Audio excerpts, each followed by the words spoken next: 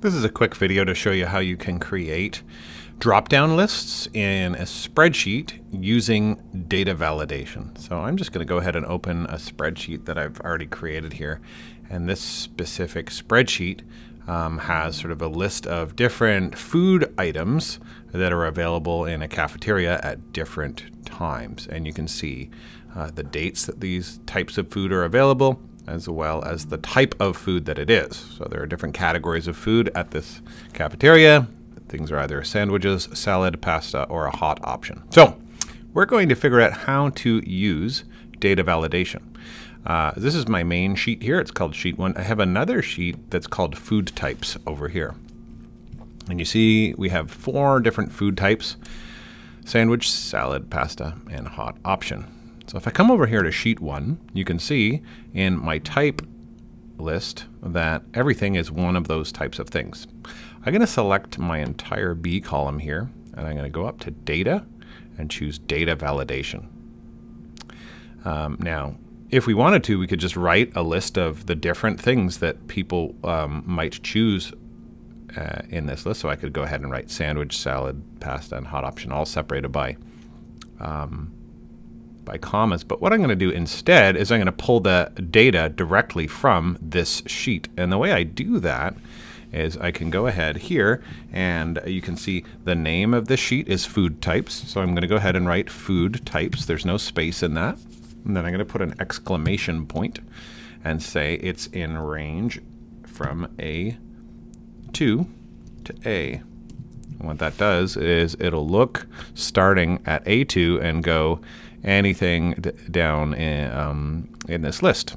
And right now there are four things. So I'm going to go back over here and you can see this creates the data validation from B1 to B1000. I'm going to change that. I don't need to validate B1 because that is just the word type. So I'm going to say from B2 and instead of saying from to B1000, I'm going to say through B because we never know how long this spreadsheet might get.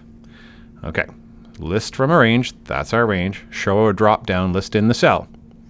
And um, if someone tries to enter data that's not in the cell, it'll um, create a warning.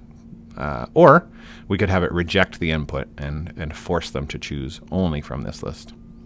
Let's go ahead and save it how it is now, and I'll say save. You'll notice now everything has a drop down. So here we can see this is a sandwich, and this is a sandwich, and this is a sandwich. So I can go ahead and set the food type for each of these. And this is a sandwich. And this is a sandwich. And this is a salad. And this is a pasta.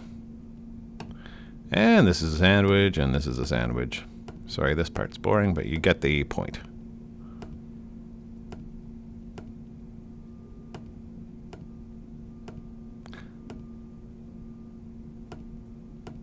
Salad, pasta, hot option. Okay, so you can see I could also go ahead and type in the cell um, burger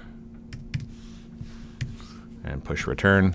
And you can see I get a little warning. That's what this red thing means. And it says uh, input must fall within specified range. So let's say I wanted to go ahead and have a different food type, maybe a soup would be a good example of something you might find in a cafeteria.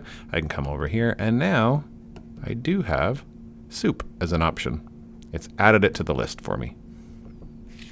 So that's how you use val data validation to create a drop-down list.